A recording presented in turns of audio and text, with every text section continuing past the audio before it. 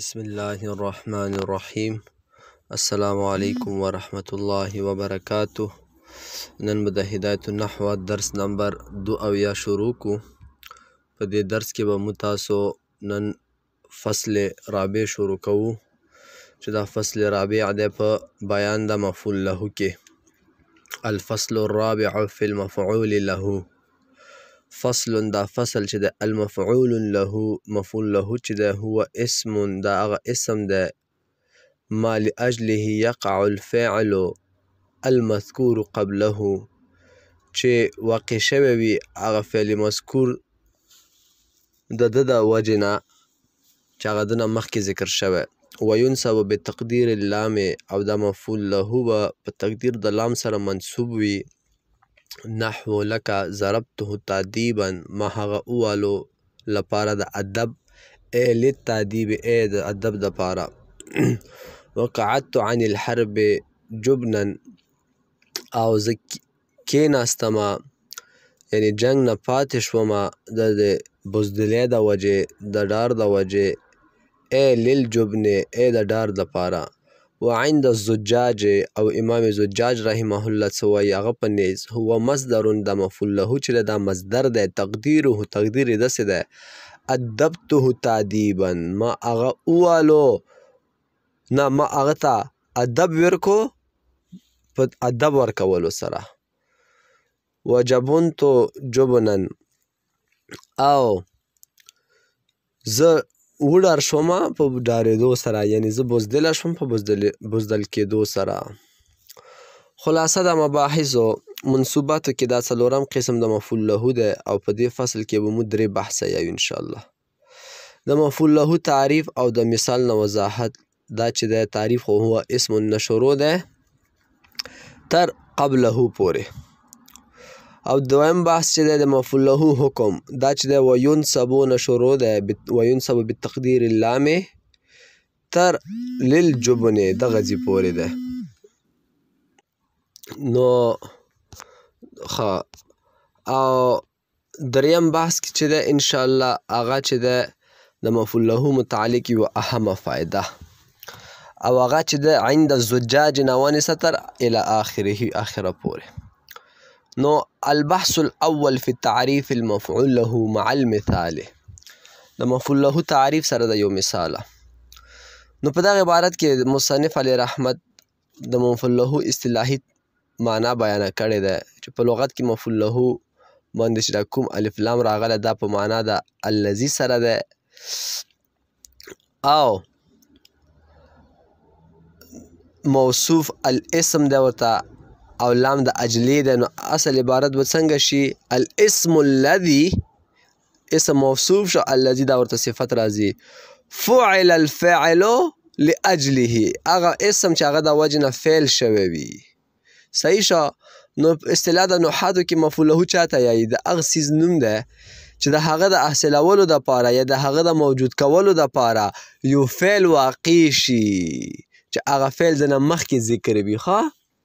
مصنف علیه رحمت هم داسې تعریف کړی دی هو اسم ما لاجله یقع الفعل المذکور قبله چې یو کار حاصلوي نو هغه کار حصول لپاره ته یو فعل وکې هغه فعل به دنه ما قبل ذکر وي نو دغه ته څه یلی شي مفعول له یلی شي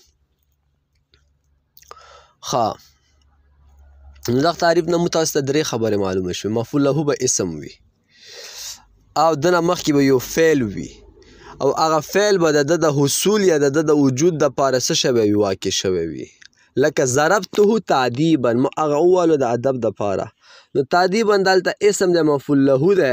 او دنه مخکې چې د ظرف فعل واقع شوی دی او دا ظرف فعل مو دغه پاره کړی دا وال مو دغه پاره کړی چې اخکې ادب راشي نو صحیح شو کنه بل مثال قعدت عن الحرب جبنن ځکه ناسم د جګ نه د وجه د ډارا دلته جبنن مفعول له ده او اسم ده او دا اسم نه مخکې یو فعل واقع شوی چې هغه قعد یعنی قعده ناسته ده صحیح شو فواید او قیود د تعریف ته برو شو هو ضمیر مرجع مفعول له ده چې هغه معرف ده اسم دغه نه الی اخره پورې دا تعریف ده معرف ده دالته اسم چې ده دا د اسم ما دا په درجه د جنس کې چې معرف او غیر معرف ټولو ته شامل دی لاجله دا فصل په دغه سره باقی مفاعل خارج شول ځکه لاجله سره هغه مفاعیل لا مفعول فيه مفعول به مفعول معه هغه چې ده هغه اسم د پاره هغه فعلونه نه وي واقع شوي یا اسم یا په هغه کې فعل واقع شوی وي یا هغه د هغه سره فعل واقع شوی وي تعریفونو کې تاسو ته پته لګیږي مفعول له کې د دغه اسم د پاره فعل واقع شوی وي نو دا ترې نه خارج شول. ښه المذکور قبله دا فصل ثانی ده په دغه سره التعذيب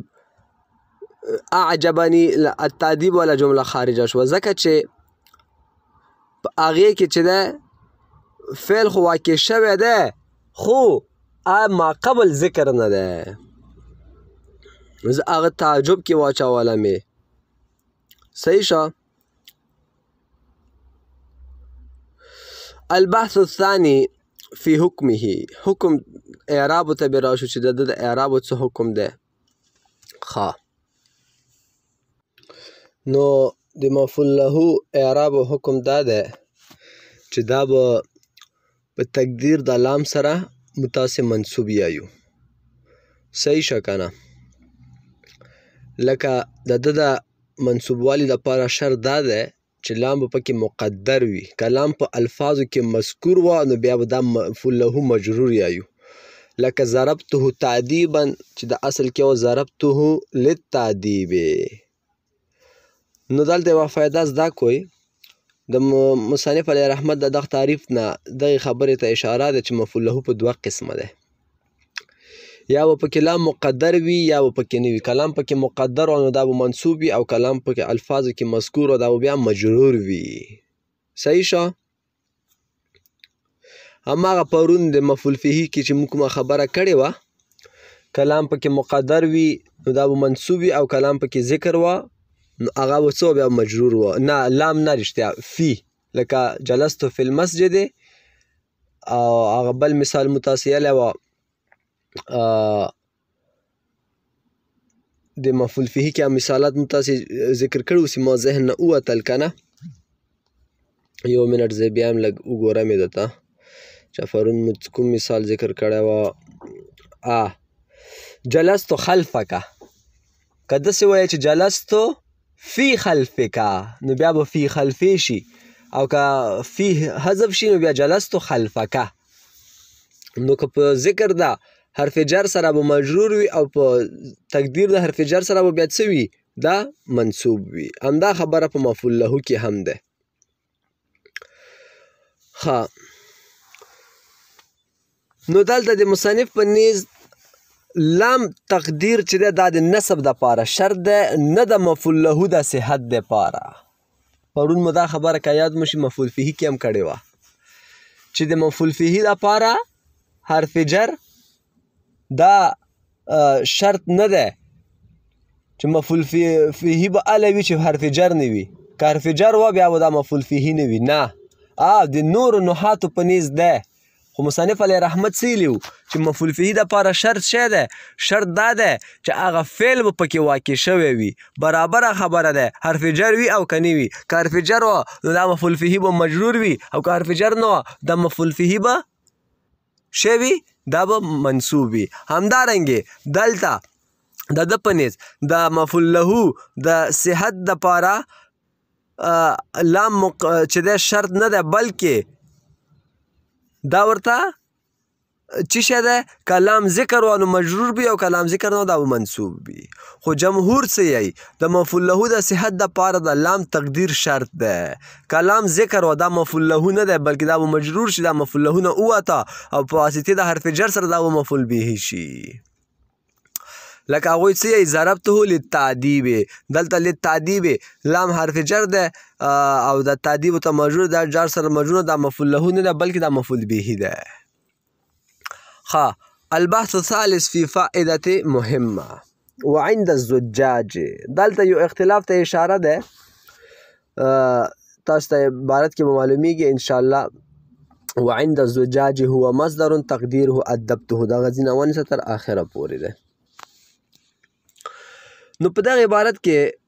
مصنف علیه رحمت د مفعول له متعلق د نحویانو یو اختلاف ته اشاره کړې تفصیل دا چې مفعول له د منصوباتو د اقسام نه یو مستقل قسم دی او که نه دی نو جمهور نحویان دی دا خبره کوي چې مفعول له د منصوباتو نه یو مستقل قسم دی لیکن علامه زجاج رحمه الله چې نه مفعول له د منصوباتو نه کوم مستقل قسم نه دی بلکې چې جمهور چې کوم اسماء ته مفعول له جوړوي هغه په حقیقت کې مفعول مطلق ده د فعل محذوب د پاره نو د زجاج په نزد عبارت اصل کې څنګه ده ضربته تعذيبا دا په اصل کې و ادبته تعذيبا قعدته قعدت عن الحرب جبنا اصل کې څنګه و قعدت عن الحرب اصل کې و قعدت عن الحرب وجبنت جبنا داسې و ښه نو هغه یې چې قعدت عن الحرب دا اصل کې څنګه و وجبنت جبنن نو دا یعنی مفعول مطلق ده مفعول له نه ده نو علامه زجاج رحمه الله دا قول صحیح نه ده ځکه چې دلته چې ته دا تعویل کوې موږ ته یو که نه یو قسم نه بل قسم جوړوې نو دا نه دا خبره نه لازمیږي چې اول قسم دې ختم شي او بل قسم دې تا په نیز جوړ شي که چېرته موږ تاسو دا تعویل ومنو نو بعض ځایونو کې بیا به حال نه څه جوړیږي مفعول فیه جوړیږي لکه مثال خبره جاء زید راکبا دلته راکبا حال زید حال دی او راکبا ورته زید ذوالحال دی او راکبا ورته حال دی اوس که طغوً ته پکې موږ تاویل وکړو نو جاء زید فی فی الرکوب والا معنی به جوړه شي نو دلته چې دی څه شی شو حال نه څه جوړ شو مفعول فیه جوړ شو نو تا په خبرو کې دا مشکل جوړیږي امام زجاج رحمه الله ته یو نو د امام زجاج صاحب دا خبره صحیح نه ده خو اوس به راشو لږه اجرا به وکړو په مفعول معه کې به لږه اجرا وکړو مفعول له کې رښتیا وبخوئ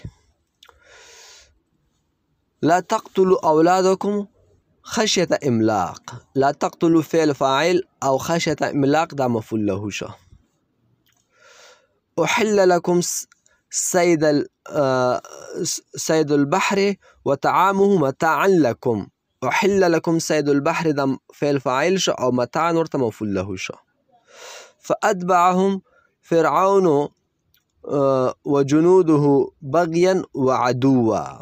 فأتبعهم فرعون دا فعل او فاعل شا بغيا وعدوا دارت مفول له شا ولا تكونوا كالذين خرجوا من ديارهم بطرا خرجوا فعل شا فاعل او بطرا دارت مفول له شا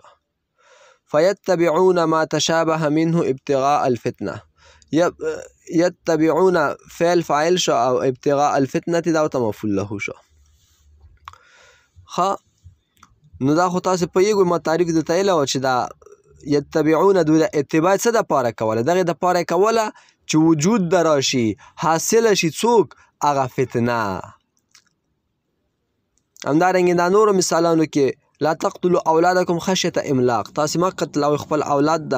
د لوګي د یره د واجنه نو لا تقتلوا ویلې واقع شوه ده دغه د پاره دوی قتل کوله چې د لوګي یره پیدا نشي صحیح شه نو